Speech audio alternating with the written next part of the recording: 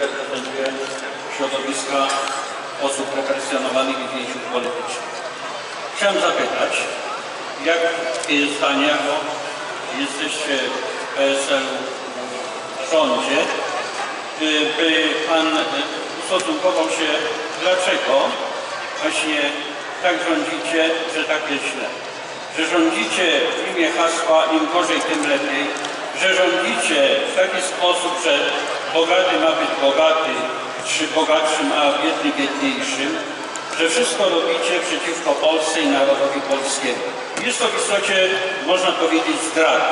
Zdrada narodu i zdrada ojczyzny.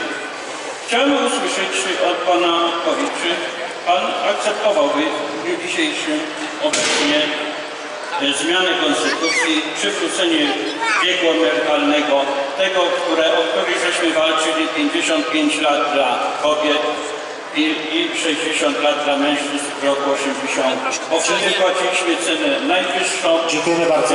Stworzono ten właśnie system. Dziękujemy panu bardzo. Dlatego chcemy, byście się z tego właściwie... Dziękujemy panu bardzo. I chcemy, od, byście Państwo odebrali nagrodę.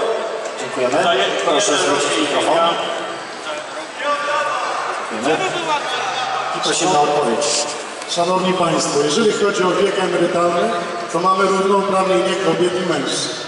Niestety, żyjemy jako społeczeństwo coraz dłużej. Coraz dłużej są wypłacane emerytom świadczenia emerytalne. Tych pieniędzy, proszę Państwa, nie można dodrukować, te pieniądze trzeba zgromadzić. Uważam, że wiek 67 lat dla kobiet i mężczyzn w tej chwili jest to trend w całej Europie jest zasadą. Od tego nie powinno być odwrotu.